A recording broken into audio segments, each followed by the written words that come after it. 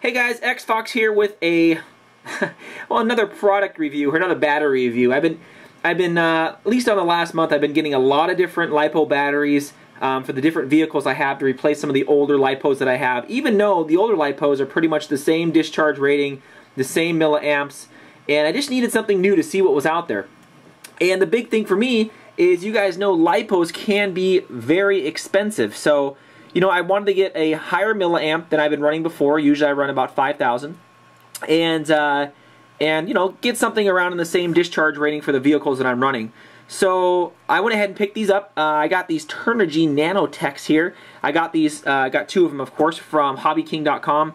You know, looking at lipos nowadays, especially when you go on eBay or a store, they're like 80, 90, 100 bucks, depending on what you get.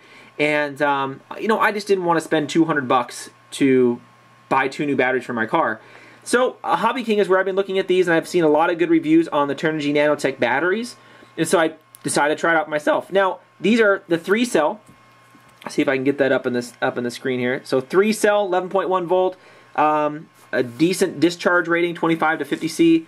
Um, just a man, a great battery. I tried these out in my Slash as well as my uh, Traxxas Summit dude, and these these things are off the chain. I mean, I can't I can't explain enough of of how good these batteries batteries are, especially for the price. I think these were thirty two bucks a piece. I mean, which is dirt cheap. I mean, you pick up three of these batteries, if not four of these, for some of the costs of uh, some of the you know other um, uh, uh, lipo batteries out there. So I recommend them. I mean, they're the three cell, 11.1 volt uh, nanotechs. They came packaged great.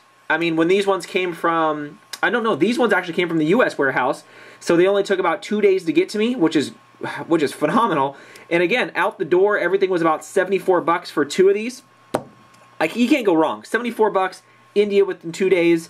I looked at both of them right when I got them. I went ahead and checked the uh, to see where they were balanced wise, perfectly balanced.